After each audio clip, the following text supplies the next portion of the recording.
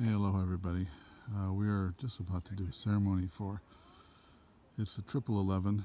Today is an 11, or quadruple 11. Today is an 11, 11, 10 plus 1, 11, 2018, 11.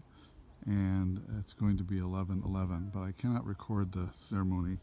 Um, we've done a double, uh, uh, a, a double 11 and then a triple 11 and then a quadruple 11 and it's really to call in a grand illumination and also a grand healing energy into the entire planet and that's what Kalalau does here Kalalau Valley.